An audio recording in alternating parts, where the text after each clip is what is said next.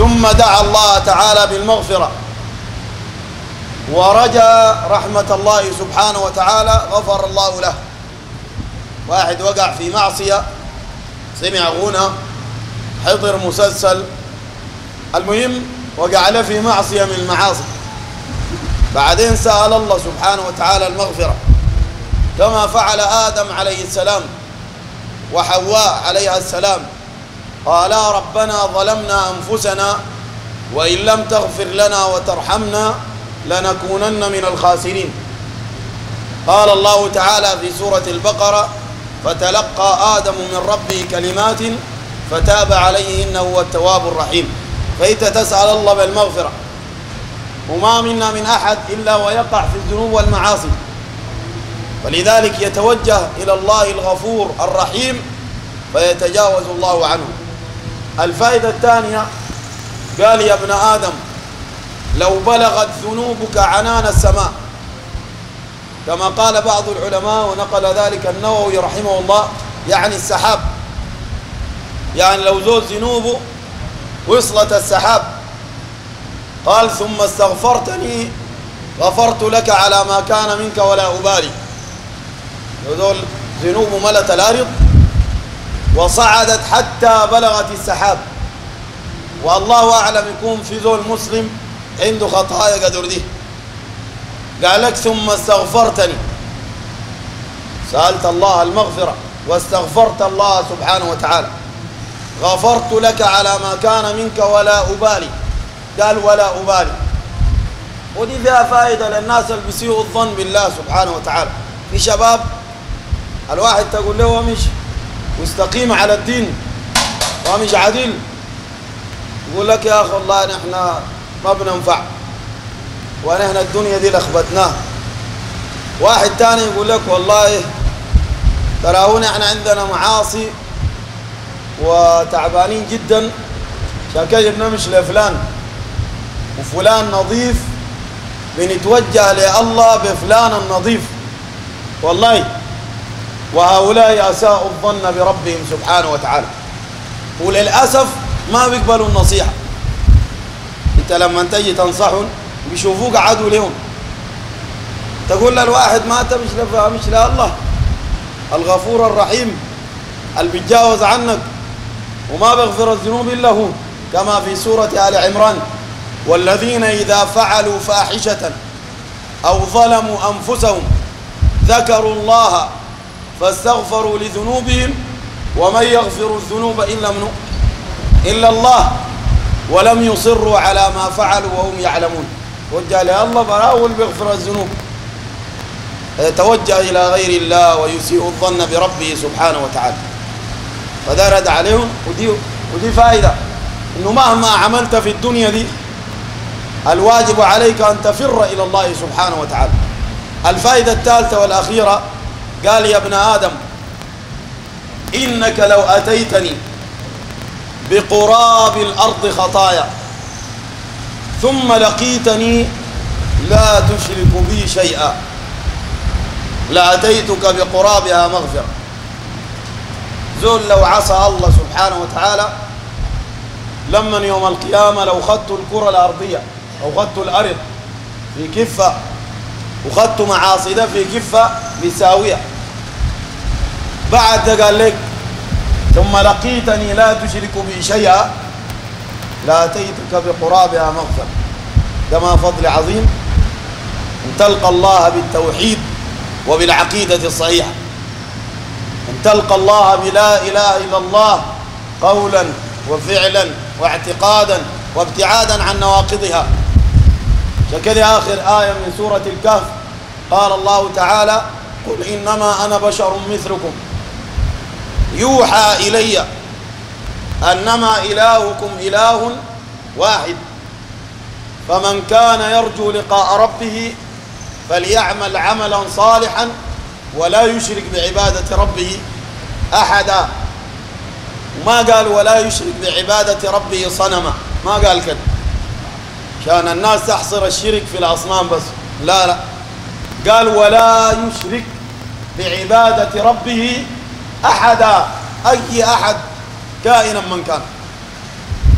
لو زول قال يا الله ويا جبريل عليه السلام أشرك بالله وجبريل ملك وأحسن من الناس أي لو قال يا الله ويا نبي الله إبراهيم عليه السلام أشرك بالله فما بالك لما نقول يا الله ويا شيخ فلان ويا شيخ علان؟ وأي زول يناقشك في الموضوع ده؟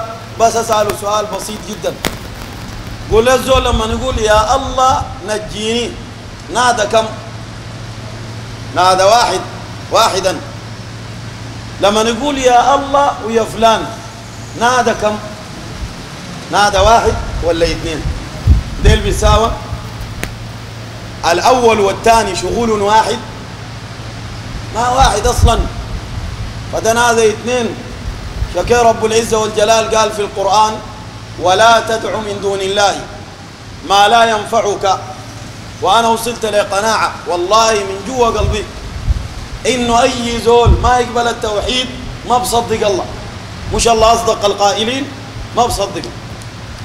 لأنه لو بيصدقوا ما ممكن الله يقول لك ولا تدعو من دون الله ما لا ينفعك. إنت تقول لي لا بينفع. ولا يضرك. تقول لي لا بضر. فإن فعلت فإنك إذا من الظالمين. وإن يمسسك الله بضر فلا كاشف له إلا هو. ما بصدقوا الآية عشان كيف يعلق له حاجة في يده؟ لأنه الآية دي ما مقتنع بها. انت تقول له ده قرآن يقول لك قرآن هاي. يقول له مصدقة يقول لك مصدقة. بعد شوية تلقى معلق له حاجة. انت أنت ما مصدقة. وإن زعمت أنك تصدق هذا الكلام. شكي رب العزة والجلال قال في سورة الرعد وإذا أراد الله بقوم سوءا فلا مرد له. شوف القرآن ده واضح كيف. وإذا أراد الله حس بعد الآية دي ثاني زول يعلق لك أمون في طفله خايف على العين منه من العين وشنو إلى آخره. قال وإذا أراد الله بقوم سوءا فلا مرد له. وما لهم من دونه من وال. هو الذي يريكم البرق خوفا وطمعا وينشئ السحاب الثقال ويسبح الرعد بحمده والملائكة من خيفته ويرسل الصواعق فيصيب بها من يشاء. بعد قال وهم يجادلون في الله. بعد يجادلوا في الله سبحانه وتعالى. عشان كذا أنا أختم في سورة البقرة في تفسير ابن كثير. قال لما نزل قول الله تعالى وإلهكم إله واحد. لا إله إلا هو الرحمن الرحيم. ده أربع حاجات. وإلهكم ما قال وآلهتكم إله واحد. جاب بالإفراد كله وإلهكم إله واحد. كلها إفراد. وبعدين قال لا إله إلا هو. وده أقوى أنواع الحصر. الرحمن دي نمرة خمسة رحمن ده اسم ذات. ممكن الله من أسماء الرشيد وتلقى زول اسمه الرشيد. لكن ده رشده ناقص ورشد الله كامل. لكن الله الرحمن ما بزول اسمه منه. ده اسم ذات خاص به. قال الرحمن الرحيم. لما نزلت الآية دي قال بعض الكفار كما ذكر ذلك أبو الضحى وعطاء بن أبي رباح وإن كان في السند مقال لكن نقله ابن كثير رحمه الله. نحن للأمانة الإمام نقول فيه مقال. قال قال إله واسع واحد. إله واحد. يسع الكون كله. الكون ده كله بس يعبد واحد. قال فأنزل الله الآيات التي بعدها. وإلهكم إله واحد لا إله إلا هو الرحمن الرحيم. طوال الآية اللي بعدها.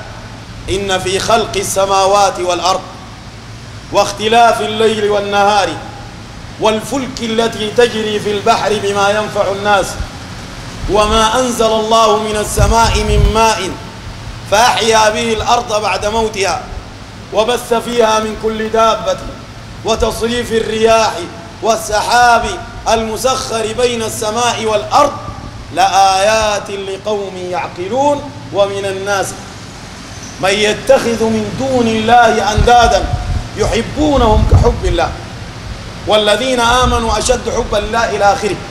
يعني الآية دي نزلت. الله بيقول لهم إنتم مش موقنين إنه السماوات خلقها الله؟ أي. الأرض خلقها الله؟ أي. السحاب خلقه الله أي. المطر نزله الله أي. الفلك نزل خلقها الله أي. البحر خلقه الله أي سبحانه وتعالى. الرياح خلقها الله بمشيها كده في زول بيوجهها اتجاه ثاني لا. طالما الآيات دي كلها وسعت هذه الآيات أن يتصرف الله فيها وحده. فكيف لا يسع الكون أن يعبدوه وحده؟